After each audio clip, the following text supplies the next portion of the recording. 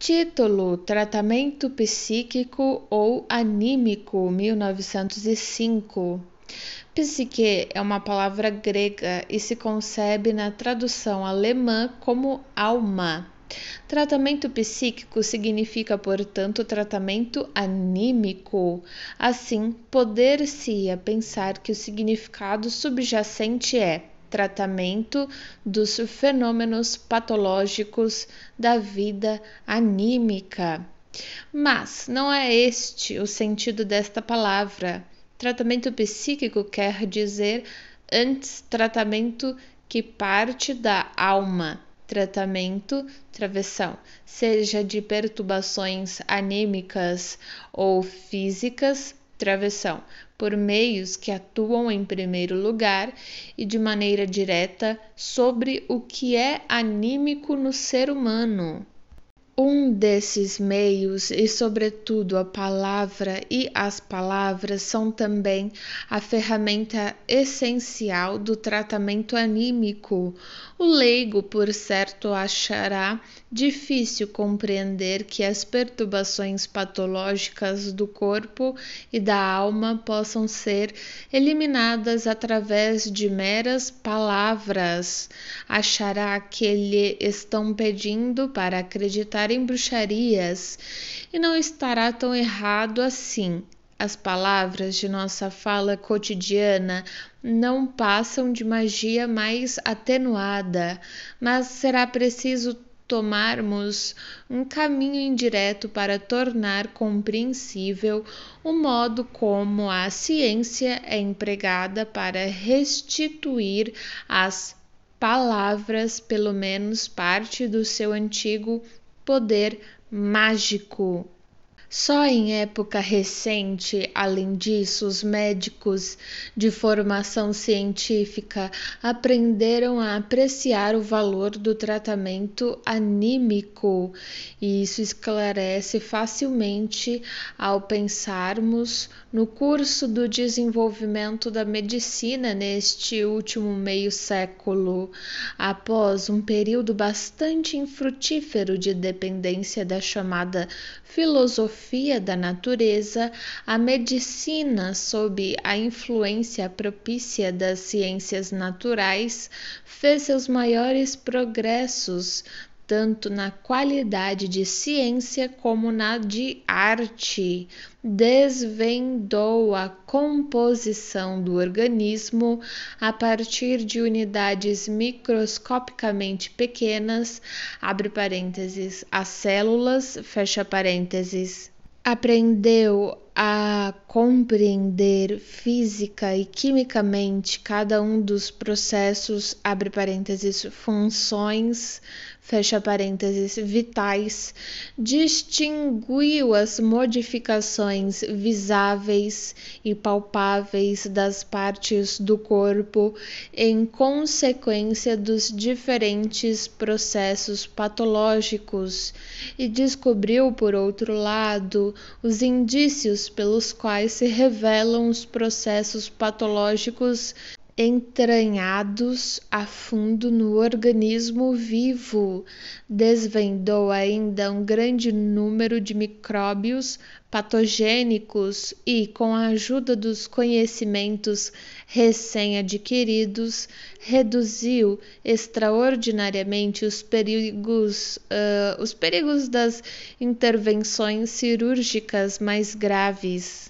Todos esses progressos e descobertas diziam respeito ao aspecto físico do ser humano, e assim, em consequência de uma linha de raciocínio incorreta, uh, mais facilmente compreensível, os médicos passaram a restringir seu interesse ao corporal e, de bom grado, deixaram aos filósofos a quem menosprezavam a tarefa de se ocuparem do anímico. É verdade que a medicina moderna tinha motivos suficientes para estudar o incontestável vínculo existente entre o físico e o anímico, mas nunca deixou de representar o anímico como determinado pelo físico e dependente deste. Assim, enfatizou-se que o funcionamento intelectual estaria ligado à existência de um cérebro normalmente desenvolvido e suficientemente nutrido, e que qualquer adoecimento desse órgão faria com que se incorresse em perturbações que a introdução de substâncias tóxicas na circulação poderia produzir certos estados de doença mental ou em pequena escala, que os sonhos do sujeito adormecido seriam modificáveis conforme os estímulos que se fizessem atuar sobre ele para fins experimentais. A relação entre o físico e o anímico, abre parênteses, tanto nos animais quanto no ser humano, fecha parênteses, é recíproca, mas o outro lado dessa relação, o efeito do anímico no corpo, encontrou pouca aceitação aos olhos dos médicos em épocas anteriores. Eles pareciam temerosos de conceber uma certa autonomia à vida anímica, como se com isso fossem abandonar o terreno da cientificidade. Essa orientação unilateral da medicina para aspecto, aspectos físicos passou na última década e meia por uma modificação gradual diretamente oriunda da prática médica. Ocorre que há um grande número de doentes de maior ou menor gravidade que, por seus distúrbios e queixas, fazem grandes exigências à habilidade do médico, mas em quem não se encontram sinais visíveis e palpáveis do processo patológico, seja durante a vida ou depois da morte, apesar de todos os progressos dos métodos de investigação da medicina científica. Um grupo desses doentes destaca-se pela abundância e pela variedade multiforme do quadro patológico não podem fazer nenhum trabalho intelectual, em consequência de dores de cabeça ou insuficiência da atenção. Seus olhos doem durante a leitura, suas pernas se cansam ao andar, ficam pesadas, doloridas ou dormentes. Sua digestão é perturbada por sensações dolorosas, eructações ou espasmos gástricos, e defecação não se dá sem a ajuda de laxativos. O sono é abolido, etc. Eles podem ter todos esses males simultaneamente ou em sucessão ou sofrer apenas de uma seleção deles na totalidade dos casos. Trata-se, obviamente, da mesma doença. Apesar disso, os sinais da doença são a miúde mais variáveis, revezando-se entre si e substituindo uns aos outros. O mesmo doente, até então incapaz de trabalhar por causa das dores de cabeça, mas com uma digestão bastante boa, pode no dia seguinte desfrutar de uma cabeça desembaraçada, mas a partir daí suportar mal a maioria dos alimentos. Da mesma forma, seus padecimentos o abandonam subitamente ao sobrevir uma modificação em suas condições de vida. Numa viagem, pode sentir-se perfeitamente bem e saborear sem prejuízo a mais diversificada dieta, mas de volta a casa talvez tenha de restringir-se novamente à coalhada. Em alguns desses doentes, a perturbação, travessão, seja ela uma dor ou uma fraqueza nos moldes de uma paralisia, travessão, pode até trocar repentinamente de lado no corpo, passando da direita para a área correspondente no lado esquerdo. Em todos, porém, é possível observar que os sinais de padecimento estão muito claramente sob a influência das excitações, comoções, preocupações, etc. E também que desaparecem, podendo dar lugar a uma saúde plena, sem deixar nenhum vestígio, nem mesmo após uma longa permanência. A investigação médica finalmente mostrou que essas pessoas não devem ser consideradas nem tratadas como doentes gástricos, doentes dos olhos ou similares, mas que nelas trata-se de uma doença do sistema nervoso como um todo, até aqui, entretanto, a investigação do cérebro e dos nervos desses doentes não permitiu encontrar nenhuma modificação palpável, e alguns dos aspectos do quadro patológico chegam até a proibir a expectativa de que um dia se possa apontar com meios de investigação mais apurados modificações de tal ordem que sejam capazes de esclarecer a doença. Tem-se conferido a esse estado o nome de nervosismo, abre parênteses, neurastenia, histeria, fecha parênteses, qualificando-o como uma doença meramente funcional do sistema nervoso.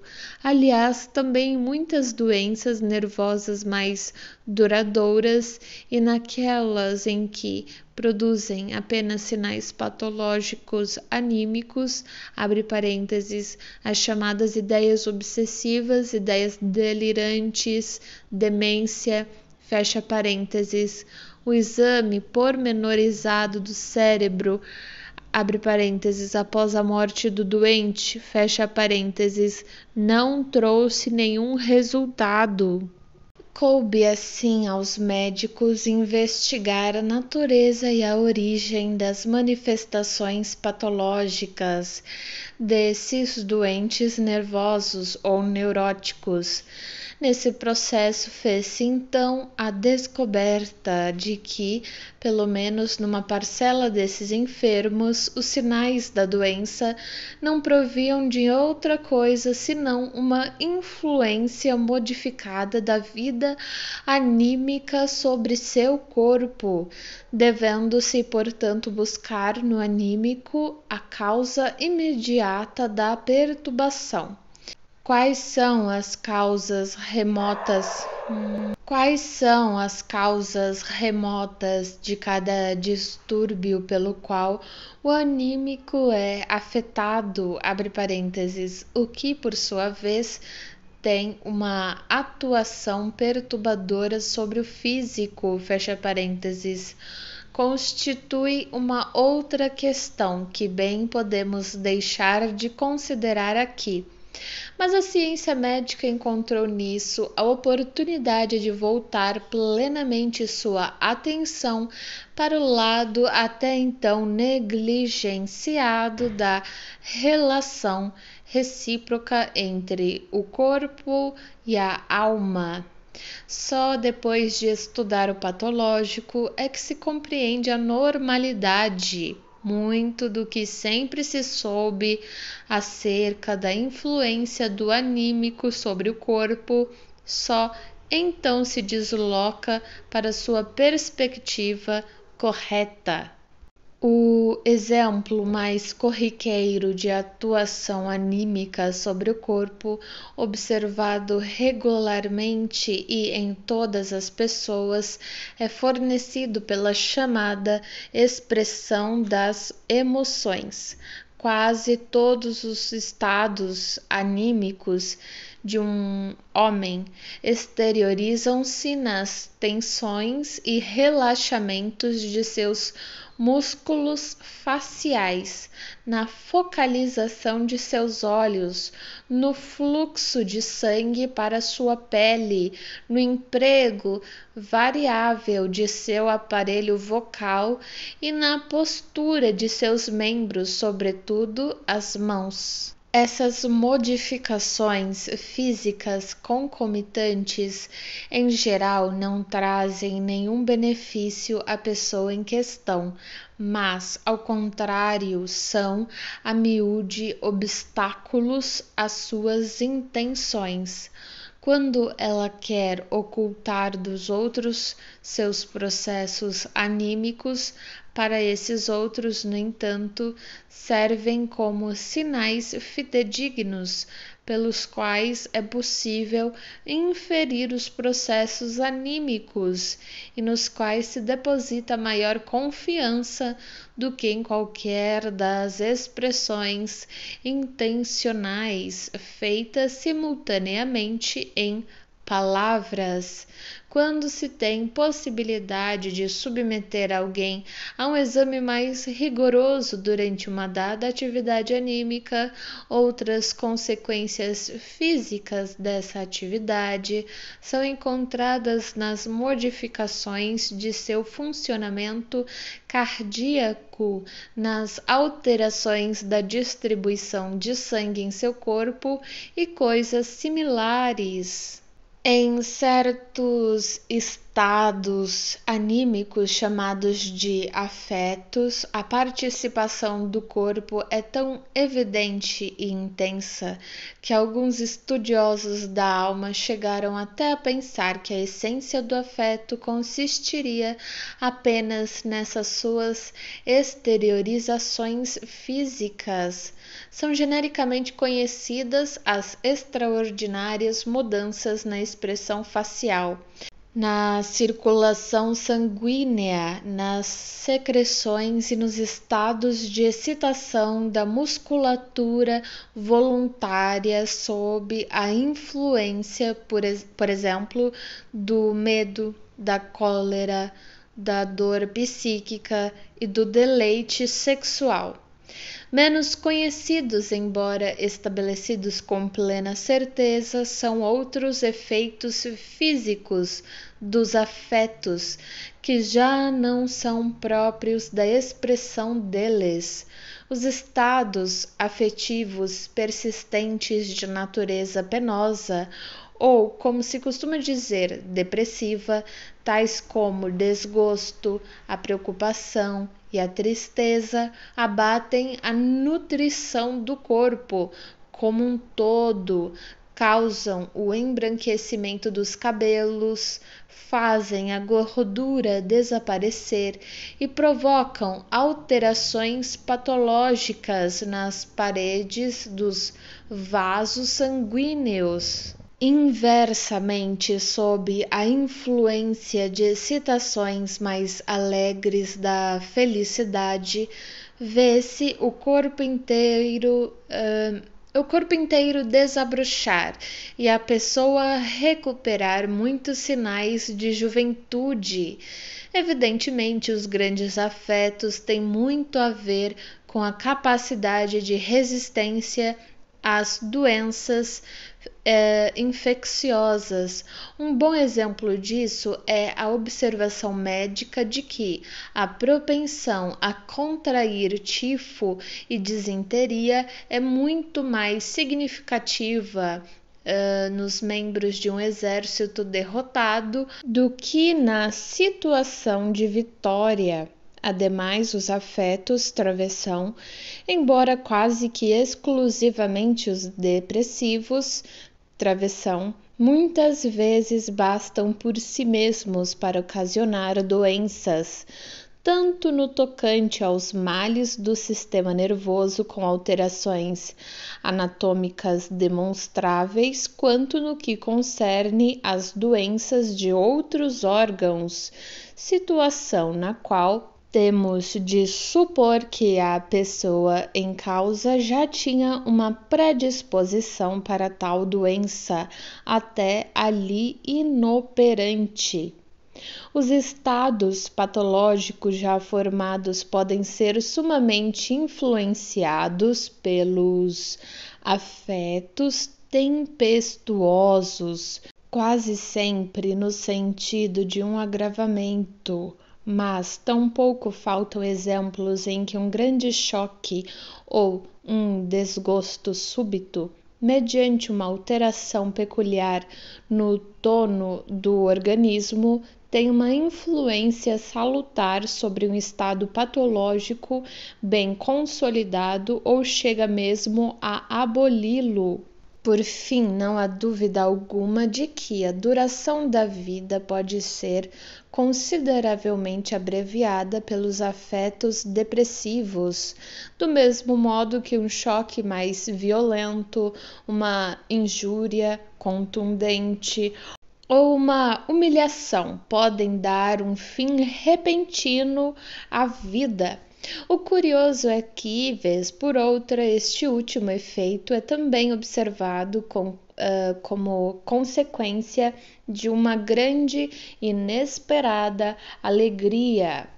Os afetos, num sentido mais estrito, distinguem-se por um vínculo muito especial com os processos físicos, mas a rigor todos os estados anímicos, inclusive aqueles que estamos acostumados a considerar como processos de pensamento, são afetivos, numa certa medida, e nenhum deles carece de manifestações físicas e da capacidade de modificar os processos corporais mesmo enquanto se está tranquilamente pensando por meio de representações, eh, correspondem ao conteúdo dessas representações várias excitações constantes desviadas para os músculos lisos e estriados.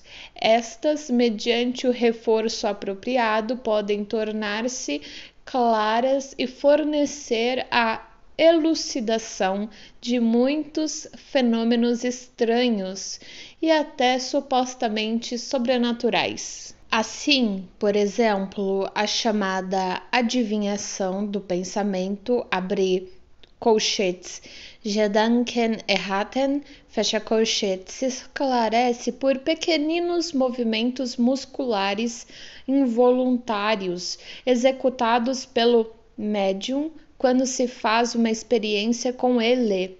Travessão, algo como um deixar-se guiar por ele para encontrar um objeto escondido. O fenômeno inteiro merece antes o nome de traição do pensamento. Abre colchetes, Gedanken verraten, fecha colchetes. Os processos de volição e atenção também são capazes de influenciar profundamente os processos físicos e de desempenhar nas doenças somáticas um grande papel fomentador ou inibidor. Um grande médico inglês relatou que consegue provocar em qualquer parte do corpo para qual queira dirigir sua atenção uma multiplicidade de sensações e dores, e a maioria dos seres humanos parece comportar-se maneira, eh, de maneira parecida ao formar um juízo sobre as dores que se costuma considerar como fenômenos físicos, em geral cabe levar em conta sua claríssima dependência das condições anímicas. Os leigos que de bom grado reúnem tais influências anímicas sob o nome de imaginação costumam ter pouco respeito pelas dores decorrentes da imaginação, em contraste com as que são causadas por lesões, doenças ou inflamações. Mas isso é evidentemente injusto, qualquer que seja sua causa, inclusive a imaginação, as dores em si nem por isso são menos reais ou menos violentas. Assim como as dores são produzidas ou intensificadas em se voltando a atenção para elas, também desaparecem pelo desvio da atenção. Essa experiência pode ser utilizada com todas as crianças para acalmá-las. Os soldados adultos não sentem a dor da ferida no entusiasmo febril da batalha. É muito provável que os mártires, no ardor desmedido de seu sentimento religioso e voltando todos os seus pensamentos para as recompensas com que lhes acena o paraíso, fiquem perfeitamente insensíveis às dores de sua tortura. É menos fácil comprovar através de exemplos a influência da volição nos processos patológicos do corpo, mas é muito possível que a determinação de curar-se ou a vontade de morrer não sejam desprovidas de importância, nem mesmo para o desfecho dos casos mais graves e mais duvidosos de doença. Tem extremo direito a nosso interesse o estado anímico da expectativa, por meio do qual pode ser mobilizada uma série de forças anímicas de suma eficácia para a instauração e a cura das doenças físicas. A Expectativa angustiada, por certo, não deixa de influenciar o resultado. Seria importante saber com certeza se ela contribui tanto para o adoecimento quanto se acredita. Se é verdade, por exemplo, que, em meio a uma epidemia, correm maior perigo aqueles que têm medo de adoecer, o estado inverso travessão, a expectativa confiante esperançosa travessão. É uma força atuante com que temos de contar, a rigor, em todas as nossas tentativas de tratamento e cura. De outro modo, não poderíamos explicar a peculiaridade dos efeitos observados dos medicamentos e intervenções terapêuticas.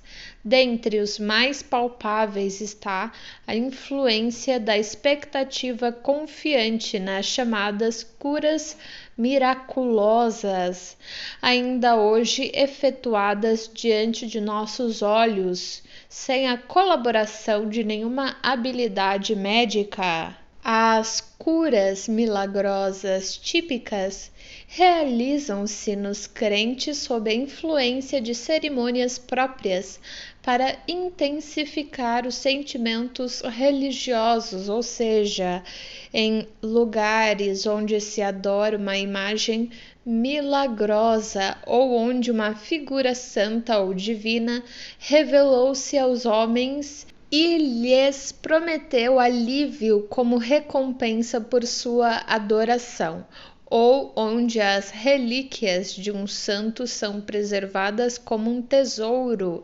Não parece fácil a fé religiosa, por si só, suprimir a doença pelo caminho da expectativa, pois, em geral, há ainda o concurso de outras coisas nas curas milagrosas. As ocasiões em que se busca a clemência divina têm de ser indicada por condições especiais. O esforço físico que o doente se impõe, as dores e sacrifícios da peregrinação devem torná-lo digno dessa regra especial. Seria conveniente, mas muito equivocado, simplesmente recusar crédito a essas curas milagrosas e pretender explicar os relatos feitos sobre elas através de uma combinação de engodo devoto e observação inexata.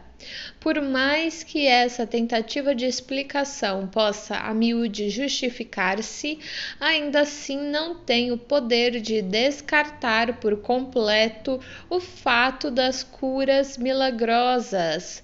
Elas realmente ocorrem, deram-se em todas as épocas e dizem respeito não só às doenças de origem anímica, ou seja, aquelas que se fundamentam na imaginação e podem justamente ser afetadas de maneira especial pelas circunstâncias da romaria mas também aos estados patológicos fundamentados no orgânico e até então resistentes a todos os esforços médicos. Mas não há nenhuma necessidade de recorrer a outra coisa senão os poderes anímicos para esclarecer as curas milagrosas nem mesmo nessas condições manifestam-se efeitos que, eh, que possamos considerar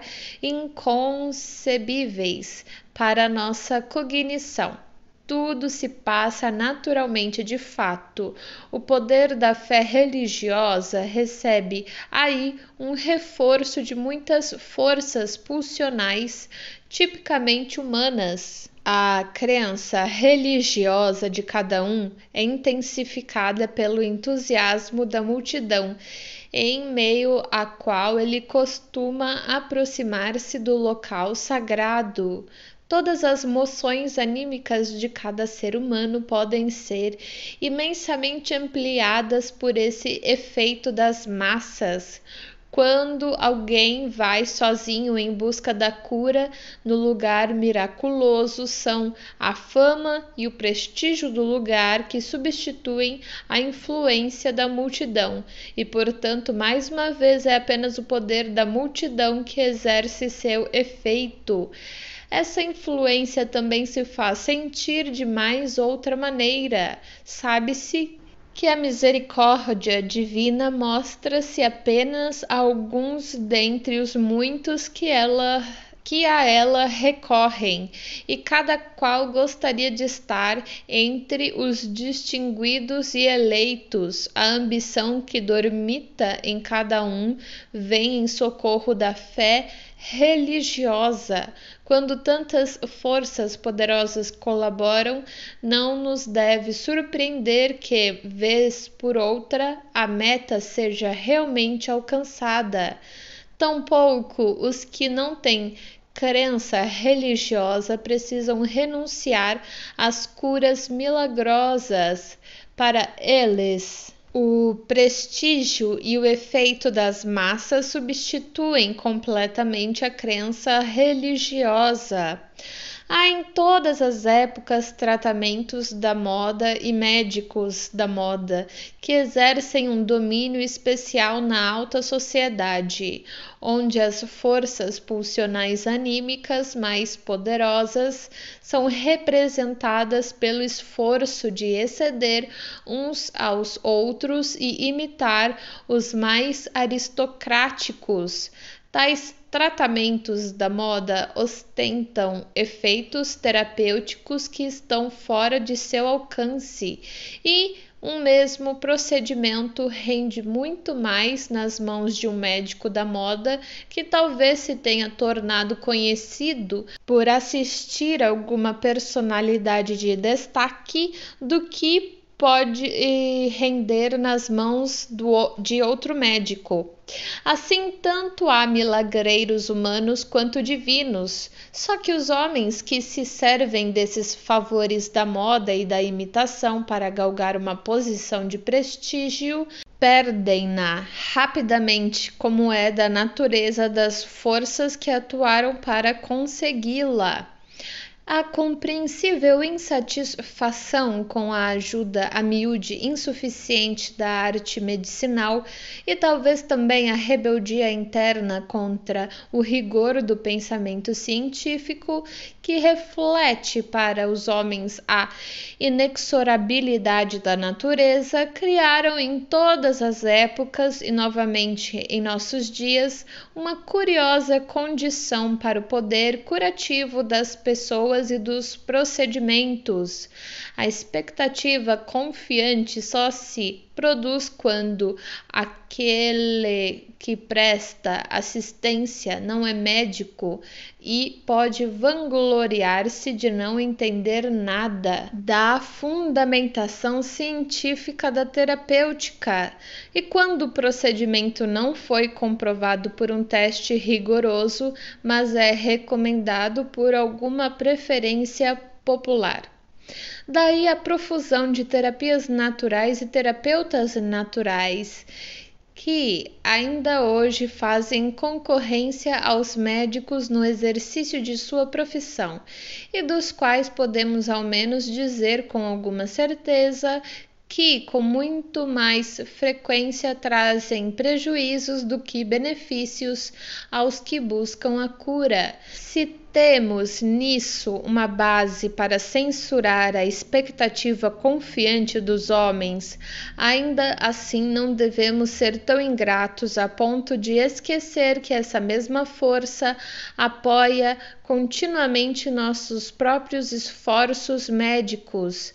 É provável que o efeito de cada procedimento prescrito pelo médico, de cada intervenção feita por ele, componha-se de duas partes, uma delas, ora maior, ora menor, mas que nunca deve ser de todo desprezada. É fornecida pela conduta anímica do doente, a expectativa confiante com que ele vai ao encontro in, da influência direta de uma providência médica depende, de um lado, da extensão de sua própria ânsia de cura e de outro de sua confiança em ter dado o passo certo para isso, ou seja, de seu respeito pela arte médica em geral depende ainda do poder que ele atribui à pessoa do médico e até mesmo da simpatia puramente humana que este desperta nele. Há médicos cuja capacidade de conquistar a confiança dos doentes tem um grau mais elevado que em outros. Nesses casos, é frequente o enfermo já sentir um alívio ao ver o médico entrar em seu quarto. Os médicos têm praticado o tratamento anímico desde sempre, ainda mais abundantemente em épocas remotas do que hoje em dia. Quando entendemos por tratamento psíquico o esforço de provocar no doente os estados e condições anímicos mais propícios para a cura, vemos que esse tipo de tratamento médico é historicamente o mais antigo. Os povos da antiguidade mal dispunham de outra coisa senão o tratamento psíquico e nunca deixavam de apoiar o efeito das poções curativas e das medidas terapêuticas mediante um tratamento anímico insistente. Os conhecidos usos de fórmulas mágicas, banhos purificadores e invocação de sonhos oraculares dormindo no salão do templo, entre outros, só podem ter se tornado curativos por via psíquica, a própria personalidade do médico adquiria prestígio por derivar diretamente do poder divino, já que em seus primórdios a arte curativa estava nas mãos dos sacerdotes. Assim, tanto naquela época quanto hoje, a pessoa do médico era uma das condições principais para promover no doente o estado psíquico propício à cura. Agora começamos também a compreender a magia das palavras. É que as palavras são o mediador mais importante da influência que um homem pretende exercer sobre o outro. As palavras são um bom meio de provocar modificações anímicas naquele a quem são dirigidas, e por isso já não soa enigmático afirmar que a magia das palavras pode eliminar os sintomas patológicos, sobretudo aqueles que se baseiam justamente nos estados psíquicos. Todas as influências anímicas que se revelaram eficazes eficazes na eliminação das doenças têm algo de incerto. Os afetos, a concentração da vontade, o desvio da atenção, a expectativa confiante, Todas essas forças que ocasionalmente eliminam a doença deixam de fazê-lo em outros casos, sem que se possa responsabilizar a natureza da doença pelo resultado diferente.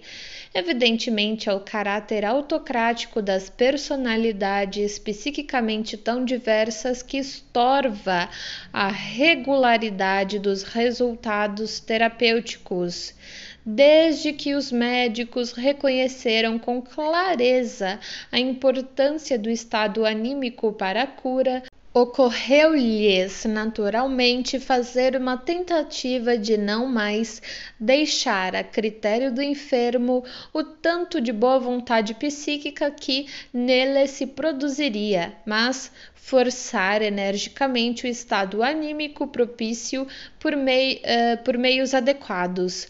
Foi nesse esforço que teve origem o moderno tratamento anímico.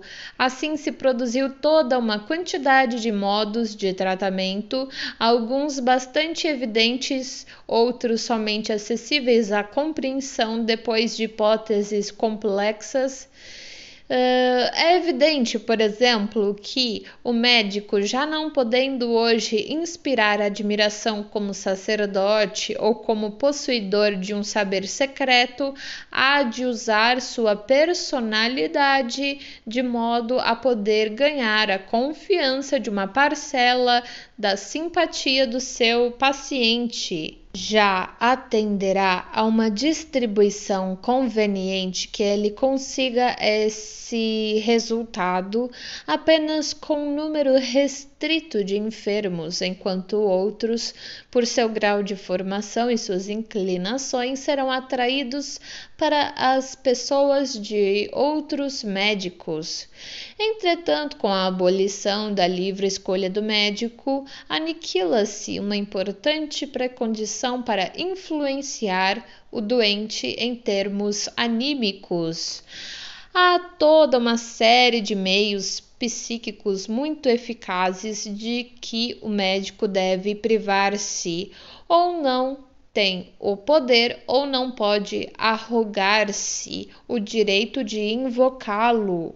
Isso se aplica, sobretudo, à provocação dos afetos mais intensos e, portanto, aos meios mais importantes pelos quais o anímico atua sobre o físico. O destino muitas vezes cura as doenças através das grandes emoções de alegria, de satisfação das necessidades e da realização dos desejos com os quais o médico, a miúde, impotente fora de sua arte, não pode rivalizar estaria antes em seu poder provocar me, uh, medo e terror para fins curativos, mas, exceto nos casos de crianças, ele deve ponderar muito sobre o recurso a essas medidas perigosas. Por outro lado, o médico deve romper todas as relações com os doentes que estejam ligados a sentimentos de ternura por causa da significação vital desses estados anímicos. E assim seu poder de promover modificações anímicas em seus doentes parece tão reduzido desde o início que o tratamento anímico deliberadamente intensificado não prometeria nenhuma vantagem sobre o médico anterior.